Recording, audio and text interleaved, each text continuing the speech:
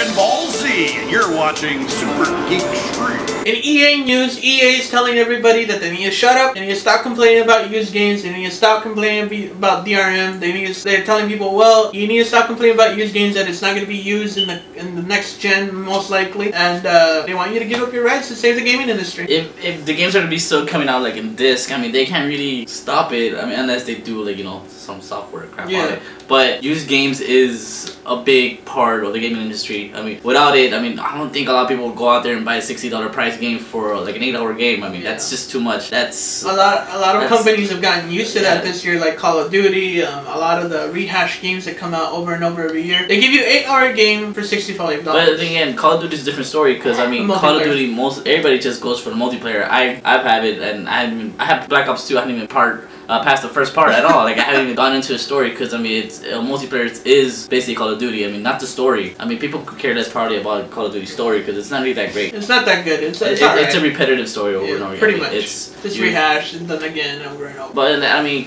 if EA wants us to give up our rights, I mean, they should at least lower down the prices on their games. I mean, Exactly. that's just too much for it's six. Like I said, sixty dollars for an eight-hour game. I mean, that's unless you're gonna go all Uncharted or like Uh, Last of Us? Yeah, like eighteen hours of gameplay. Yeah, okay, I'll dish out the whole sixty dollars. Exactly. But if it's gonna be a crappy ass game, then A lot of developers at that, or a lot of uh, fans have actually said that uh, that they were okay when when games went up from fifty dollars to sixty five dollars. They were fine with it because they they understood. I wasn't. Uh, I, I wasn't okay with it, but we coped to understand with it. And then we, uh, and then now they want to hike the price up even more with the used games and adding more to the price. I'm like, what they should do is just lower their price, like you just said.